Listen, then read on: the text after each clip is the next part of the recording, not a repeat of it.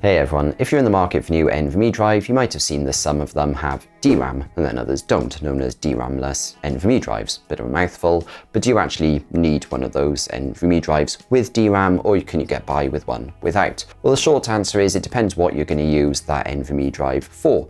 If it's for a secondary drive to then store your games or anything else, you don't actually need DRAM in my opinion. Games aren't going to benefit from that. But if you're actually looking at your main drive where your operating system will be installed, then I think you might actually benefit from having DRAM in some cases.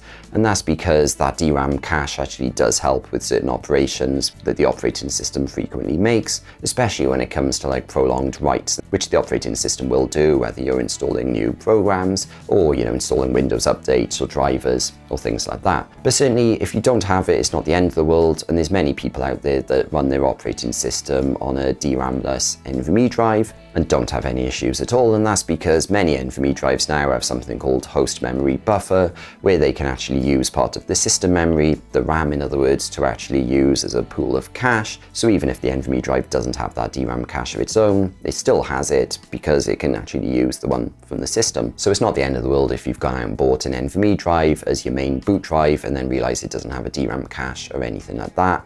I personally prefer to have an NVMe drive with DRAM cache when it comes to my main boot operating system drive, but that's just me and again it comes down to your budget. And certainly if you're just building a system with one NVMe drive, maybe it's a budget system and you can't afford one with DRAM caching, then yeah, getting one without it, because that's all you can afford, will work absolutely fine. You know, you can run Windows 11 on it and games on it, and that should work absolutely fine. So it's more of a nice to have than an absolute necessity or something like that, especially due to host memory buffering. Hopefully that all makes sense to you, but if you've got any questions, please let me know down in the comments. And other than that, if you enjoyed this video, please click the thumbs up button, and please subscribe to see more short videos like this. Thanks for watching.